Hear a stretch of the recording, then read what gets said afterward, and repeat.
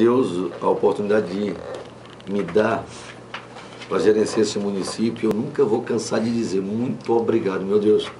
Muito obrigado porque sou apaixonado por essa cidade, eu quero desenvolver essa cidade, eu luto por ela, luto pela autoestima do meu povo, valorizo o meu povo, respeito o meu povo.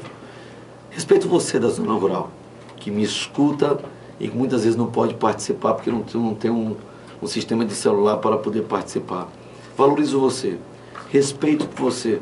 Sonho em lhe oferecer uma qualidade de vida melhor. Sonho em apostar numa cidade cada vez melhor. Uma cidade que a gente quer. Luto para que junto a gente possa transformar essa cidade. Eu sempre digo que podem ter tudo mais do que eu, mas jamais terão muito mais amor do que eu tenho pelo município de Caxias.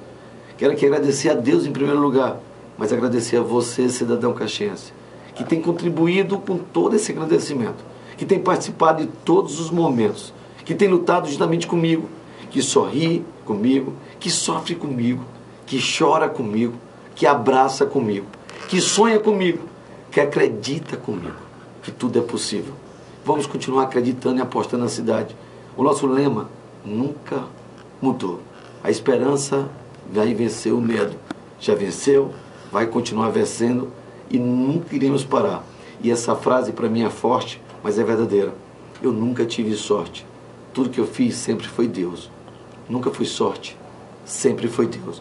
Quero finalizar convidando você também, para que estejamos juntos lá no Mirante da Balaiada, recebendo o nosso kit de iluminação.